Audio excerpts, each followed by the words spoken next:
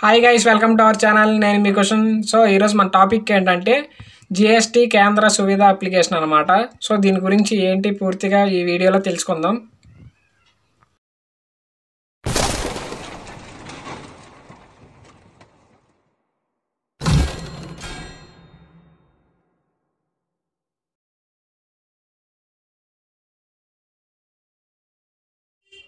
So దానికంటే ముందు మీకైతే ఒక విషయం చెప్తాను. అదేంటంటే లాస్ట్ వీడియోలో మనం ఒక యాప్ చూసాము. అది మనీ మనీ ఎర్నింగ్ యాప్ గురించి.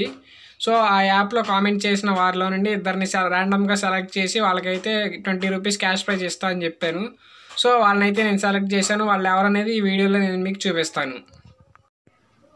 మీరు చూసుకున్నట్టయితే నేను ఈ లాస్ట్ వీడియోలో దీని గురించి ఎక్కువ చెప్పలేదు. ఎందుకంటే ఈ వీడియోలో బ్రీఫ్గా చెప్దామని ఆ వీడియోలో చెప్పలేదు అనమాట సో ఈ అప్లికేషన్ వచ్చేసరికి సెంట్రల్ గవర్నమెంట్ స్కీమ్ అనమాట దీన్ని యూజ్ చేసుకుని మనం మంత్లీ ఫిఫ్టీ థౌజండ్ నుంచి వన్ ల్యాక్ వరకు అయితే ఎర్న్ చేయొచ్చు. సో అది ఏంటిది ఎలా ఎర్న్ చేయాలి అసలు ఆ అప్లికేషన్ గోల్ ఏంటి అనేది ఈ వీడియోలో చూద్దాం. టూ త్రీ ఇయర్స్ బ్యాక్ మన గవర్నమెంట్ అయితే జిఎస్టీని ఇంట్రొడ్యూస్ చేసింది. జిఎస్టీ అంటే గుడ్ సర్వీస్ ట్యాక్స్ అనమాట అంటే మనం ఏదైనా షాప్స్కి కానీ మాల్స్కి కానీ వెళ్ళినప్పుడు ఏదైనా వస్తువులు కొన్నప్పుడు మనకి జిఎస్టీ ట్యాక్స్ అనేది పడుతుంది. అంటే ఏదైనా వస్తువు కంటే టూ పర్సెంట్ త్రీ పర్సెంట్ అలా జిఎస్టీ ట్యాక్స్ అనేది పడుతుంది. సో మనకి వాళ్ళ షాప్లో కూడా వాళ్ళు డిస్ప్లే చేస్తారు. అంటే జిఎస్టీ ఐఎన్ అని చెప్పి సమ్ నెంబర్ అయితే ఇస్తారు.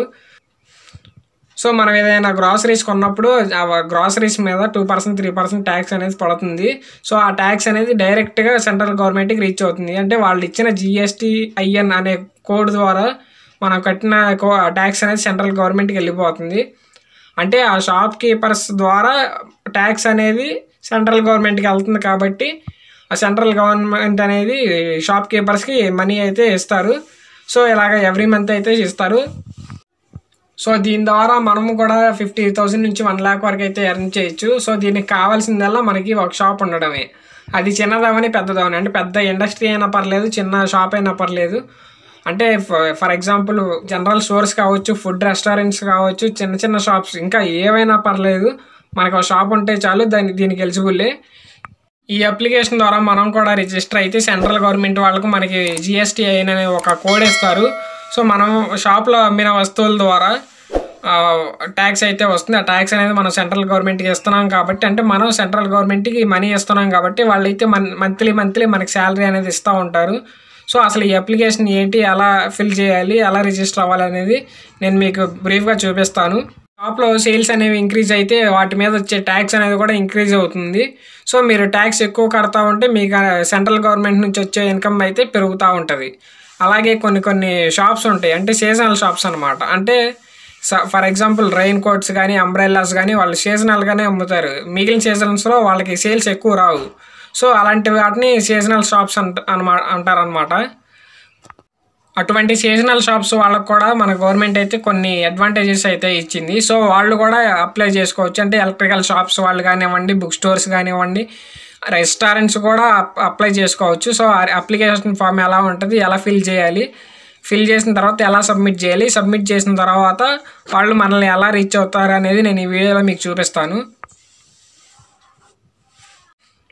అప్లికేషన్ ఫిల్ చేసి సబ్మిట్ చేసినాక సెంట్రల్ గవర్నమెంట్ వాళ్ళు వెరిఫై చేసుకుని విత్ ఇన్ ఫ్యూ అవర్స్ మనల్ని అయితే కాంటాక్ట్ చేస్తారు. మనకి జిఎస్టీ అయిన కోడ్ ఇస్తారు. మనం ఇంకా మన షాప్లో దాన్ని యాడ్ చేసుకోవచ్చు. స్క్రీన్ మీద కనిపిస్తున్న వెబ్సైట్ని క్లిక్ చేయండి. నేను అది డిస్క్రిప్షన్ బాక్స్లో కూడా ఇచ్చాను. మీరు చూసుకోవచ్చు.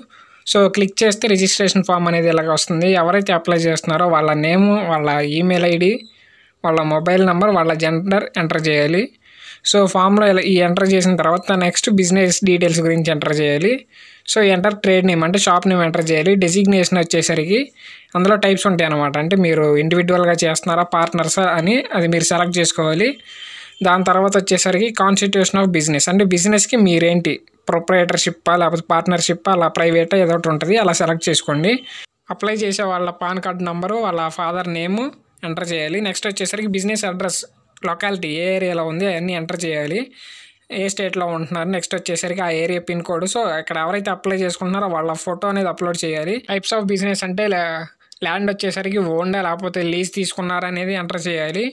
సో నెక్స్ట్ వచ్చేసరికి ఎంటర్ ప్రోడక్ట్స్ అంటే మీ షాప్లో ఉండే వస్తువులు ఎలాంటివి అనేది మీరు అక్కడ ఎంటర్ చేయాల్సిన అవసరం ఉంటుంది.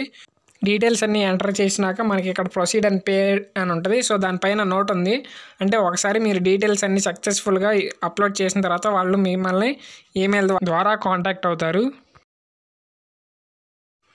సో మన లాస్ట్ వీడియోకి ఆ లక్కీ విన్నర్స్ ఎవరో ఇప్పుడు నేను మీకు చూపిస్తాను. ఓకే స్టార్ట్ కొట్టేస్తున్నాను. ఓకే ఫస్ట్ లక్కీ విన్నర్ ఎవరంటే యాస్మిన్ అబ్దుల్ అంట ఓకే నేను వాళ్ళకైతే ట్వంటీ రూపీస్ పేటిఎం చేసేసాను. సో నెక్స్ట్ వచ్చేసరికి నెక్స్ట్ సెకండ్ విన్నర్ ఎవరో చూద్దాము. Okay start. సో మన సెకండ్ విన్నర్ వచ్చేసరికి బీటెక్ బాయ్స్ అని వచ్చింది. నైస్ ప్రో అని కామెంట్ చేశారు. కాకపోతే వాళ్ళని కాంటాక్ట్ చేయడానికి డీటెయిల్స్ అయితే ఏమి ఇవ్వలేదు కాబట్టి మనం వాళ్ళని కాంటాక్ట్ చేయలేము. సో వాళ్ళ అనేది క్యాష్ ప్రైజ్ అనేది మిస్ అయ్యారు.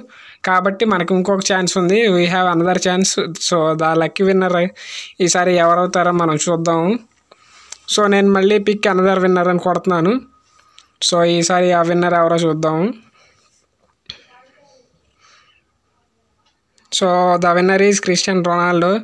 So ఆయనకు కూడా నేను twenty rupees Paytm cash prize అయితే చేశాను. సో బ్రో మీరైతే బాధపడకండి మన ఛానల్లో ఇలాంటివి ఇంకా ఫ్యూచర్లో చాలా వస్తూ ఉంటాయి.